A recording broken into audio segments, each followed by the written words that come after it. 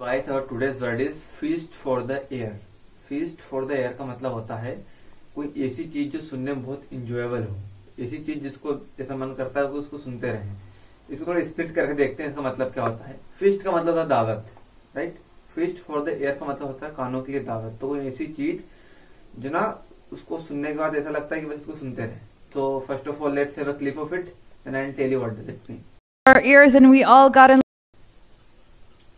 so we have seen the clip feast for the ear means कोई भी enjoyable चीज़ जो सुनने में बहुत अच्छी लगती है, उसको बोलते feast for the ear like this music ये जो म्यूज़िक है this music is the feast for the ear ये म्यूज़िक है, बहुत इंजॉयबल है. Whatever you are saying is the feast for my air ये आप जो कह रहे हैं, वो मैं एयर के लिए बहुत इंजॉयबल है. So I hope you would have understood the meaning of this word If you also have any word, then do let me know in the comment section below. I will definitely make video in that. Thank you.